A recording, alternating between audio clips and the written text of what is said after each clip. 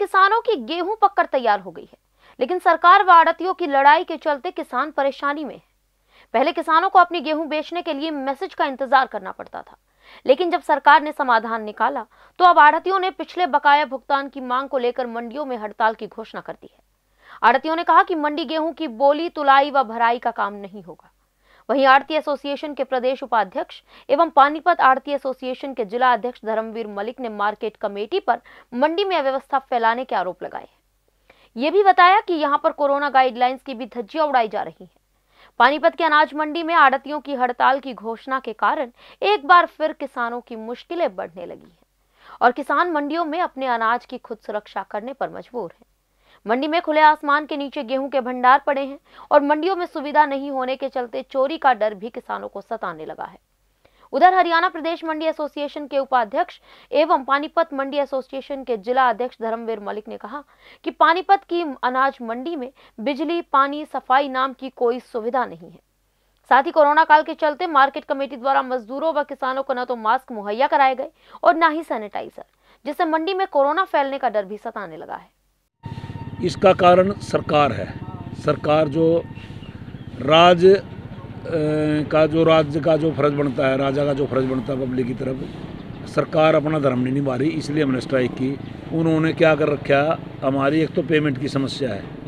Payment जो किसान चाहता है आड़ती के थ्रू चाहता हो आड़ती के थ्रू डायरेक्ट चाहता हो डायरेक्ट लो किसान की पसंद से हमने कोई दिक्कत नहीं। एक तो मेन प्रॉब्लम ये है। अब ये एजेंडे हैं इसके अंदर, ये देखो। ये भेज दिया, अभी सेक्रेटरी ने लेटर भेजा है। इसने लिखा, कट्टे पर लगे हुआ मरका जो कि सीएम साहब ने हमारा पाँच तारीख की मीटिंग हुई थी, उसके अंदर क्लियर कर दिया था, कोई भी किसान मार ना हो, आड़ती मार्का लगाएगा। ये फिर लट दे के भेज दिया हमारा सेक्रेटरी ने। एक ये, इसके एजेंसी के नाम, ये ईयर किस किससे खरीदे हुए, इस तरह हमारे पास सरकार और उनके ऑफिसर, ये जो हमारे पर अफसरशाही चला रही, ये हमारे पास सहन नहीं होती, हम काम नहीं करते न ही हमने कुछ बसता। जीरी की हमारी आड़त एफ़ के अंदर आज भी पड़ी है। और उसकी मजदूरी पड़ी आज थी हमारे पास नहीं आली एक हमारे कपिल शर्मा यहाँ के मैनेजर है। वो कह रहा है कि आपको हम चालीस रुपये वो देंगे आड़त। मतलब जो हमारी पचास रुपये बनती है, उन्नीस सौ पच्चीस के हिसाब से पचास से एक दो रुपया कम, चालीस रुपये देंगे। और पिछले सीज़न में भी जो आपको आड़त दे रखी, वो भी हम काटेंगे। जब हमारी आड़त भी कट रही, मजदूरी हमारे को नहीं मिल रही, मजदूरी पर लेते दे रहे। फार्म होता है, जी फार्म पे किसान की मजदूरी होती है, उतरवाई की। और क्या नाम सफ़ाई करने की। वो कहते हैं कि हम आप अपने जे फार्म में नहीं काटोगे। वो किसान से नकद लो। किसी किसान के जेब में होते हैं सौ दो सौ रुपये बेचारे के। किसान तो यहाँ आके हमारे से उम्मीद रखता है, भाई तेल की टंकी बर्बाद है। डीजल के रेट कहाँ चले गए? फ़सल के रेट कहाँ हैं? इनको बेचारे वैसे दुखी हो रहे। सारे खर्चे डीएपी कहाँ चलेगा यूरिया कहाँ चलेगा कुछ और चलेगा यार इसके बढ़ा दे सौ रुपये तो खैर चलो ये बातें हमारे मुद्दे भी ये हैं। तो जो है अनाज मंडी की कब तक रहेगी और ये अनिश्चितकालीन स्ट्राइक है पूरे पानीपत की नहीं पूरे हरियाणा की हरियाणा स्टेट आड़ती एसोसिएशन के आह्वान पर हुई है। ये पाँच तारीख को करनाल मीटिंग में फैसला लिया था। फिर सीएम साहब का बुलावा आया गया। पाँच को चार घंटे मीटिंग में रहे रात वहाँ। साढ़े नौ दस बजे तक हमारी मीटिंग चलती रही। सारी बातों की उन्होंने भर ली थी। और ये करने का हम सेंटर से पूछ के आपको दो दिन बता दे देंगे। हमने कहा दो दिन में नहीं होगा तो हमारी स्ट्राइक होगी। अब हम स्ट्राइक पर पूरा हरियाणा बैठा है। सरकार का मन करता हो, सीधे भरवा लो। हम किसानों को दिक्कत नहीं आने देंगे। उनकी आते ट्राली खाली कराएँगे, चाय पानी पिलाएँगे। उनके लिए जो हमारा सिस्टम है दो चार हज़ार ही खर्चे की ज़रूरत हम उससे भी नहीं बाजते चाहे उनकी हमने कितने लेने हैं, कितना देना उन खर्चे से भी नहीं बाजते वो भी देंगे हम। क्योंकि किसान के और हमारा चोली दामन का साथ है।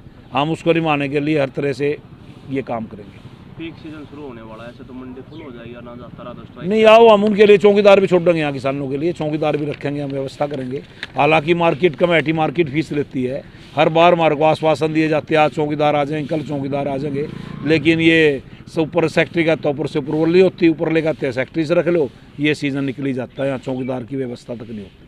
सरकार ने दावा किया मलिक साहब जैसे मंडी का काम है अनाज आना शुरू हो गया किसान आ रहे हैं। सफ़ाई का, सुरक्षा का, उठान का, किस प्रकार से क्या सुविधा बिजली, पानी की सरकार द्वारा पूरी कर ली गई है? ऐसा है, आप सारे समझदार हो शाणे हो, और पूरे देश को देखते हो, क्या सुरक्षा है यहाँ पर? आप देखो, सफ़ाई देखो एक बार। सामने लिखाओ सफ़ाई कहीं गेहूँ की डेरी गंदगी उतरेगी।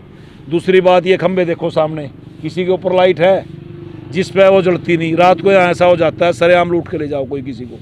कोई व्यवस्था सफ़ाई की नहीं, कोई व्यवस्था लाइट की नहीं। कैसे काम करें हम? रातों घंटे चलते हैं बिजली भाग जाती है जनरेटर नहीं चलता। सेक्रेटरी साहब को फ़ोन करते हैं भाई हमारे पास आदमी नहीं हम क्या करें?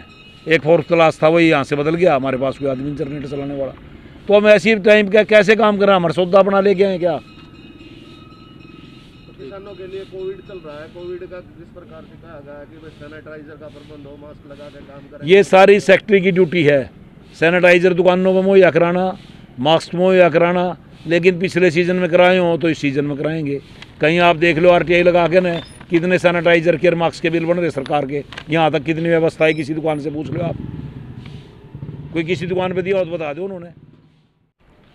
बात ये है जी दो तीन साल से पिछले ये सिस्टम चल रहा है। पीछे भी हमारी सीएम साहब से बात हुई थी तो उन्होंने बात मान ली थी अब पिछले सीज़न में भी जो गेहूँ परचेज हुई उसमें उन्होंने कहा, भाई चलो पोर्टल पर हम एक ऐसे कर देते हैं, जो जमींदार अपनी पेमेंट सीधा खाते में लेना चाहो उसको, दे देंगे, जो आरती के थ्रू लेना चाहो, वो आरती के थ्रू मिल जाओ। लेकिन अब फिर जो है ज़बरदस्ती, अब फिर कह रहे नहीं, हम तो सीधा सीधा जो है जमींदार के खाते में पेमेंट करेंगे। तो अब ये पीछे पाँच तारीख को सीएम साहब से मीटिंग हुई थी प्रधान जी उन्होंने कहा था भी चलो, हम बात करेंगे, ऊपर दो दिन में जो है, और आपको बता देंगे, कर देंगे, ठीक, जो भी होगा। तो लेकिन अब सात तारीख तक भी वो कुछ नहीं हुई। अब आठ तारीख से जो है ना, सारे हरियाणा की जो है, हड़ताल है। और वरना हम तो यही चाहते हैं कि सुचारू रूप से जो है, गेहूँ की परचेज हो। और अच्छा है, बीस पच्चीस दिन में ये काम निमट जाए, जमींदारों का जो है। लेकिन अब जब गवर्नमेंट की अपनी इच्छा है किसान के खाते में पेमेंट आने से आड़ती वर्ग में किस चीज़ की नाराज़गी है? उन्हें क्या प्रॉब्लम है? समझे नहीं। फिर और गवर्नमेंट को क्या दिक्कत है? मेरी समझ में नहीं बात आ रही जो है। जब जब किसान कहता है मैं आड़ती से पेमेंट लूँगा। अगर हम कहते हैं जो किसान ये कहता है ना उसकी पेमेंट उसको खाते में दे दो। हमें कोई तो दिक्कत है नहीं। कि पारदर्शिता आएगी इससे जो किसानों का जो पैसा वो सीधा उनके अकाउंट में जाएगा। भाई साहब आप कह रहे हैं अब कल मेरे पास एक जमींदार की गेहूँ आई थी? अब आस्ते के साथ वो कहने लाला जी, पचास हज़ार रुपये चाहिए, कुछ कंबाइन के देने हैं, कुछ तेल करना है, कुछ उसको पचास हज़ार रुपये कल ही दिए। अब पेमेंट तो उसी के खाते में आओगी। चलो, समझे नहीं मतलब आ जाएगी, चलो वो दे जाएगा। लेकिन अब ये क्या सिस्टम है मतलब? समझे नहीं, जब जमींदार को कोई एतराज़ नहीं तो मतलब बेकार का रंगा डालने वाली बात है ये तो एक तरह से। अब आप लोग स्ट्राइक पे चले गए हैं, फ़सल कट रही है और मंडियों में आ रही है। अब दिन भर मंडियों में फ़सल आती रहेगी आप अनिश्चितकालीन हड़ताल पे चले गए तो मंडी ऐसे तो फुल हो जाएगी उसको फिर कहाँ उतरेगी फ़सल? नहीं वो आपकी बात ठीक है। हम तो ये है भाई जमींदार की फ़सल आएगी उसको उतरवाएँगे बैठ बिठा करके चाय पानी पिलाएँगे अपनी तरफ़ से जो भी होगा हम करेंगे। लेकिन अब ये सरकार की मर्ज़ी है। हम तो कहते हैं भाई अभी मान ले बात जो है अभी टोल लगा दे हमें क्या दिक्कत है? समझे नहीं? हम तो ये चाहते हैं जमींदार का माल जो है, आराम से निमट जाए। और अगर इसी तरीके से सुचारू रूप से काम चला तो मैं समझता हूँ बीस दिन के अंदर ये काम निमट जाएगा, क्योंकि आजकल तकरीबन लोग जो है कंबाइन से कटवाने लग गए। पहले तो ये हाथ से चलती थी, महीने, दो महीने चलती थी। अब वो बात नहीं है। अब तो जो है ना, तकरीबन किसान कंबाइन से कटवाएँ और मैं समझता हूँ पंद्रह बीस दिन के अंदर सारा काम निमट जाएगा। तो अब ये तो गवर्नमेंट को सोचना चाहिए, वैसे उसकी मर्ज़ी अब जैसे भी करेगी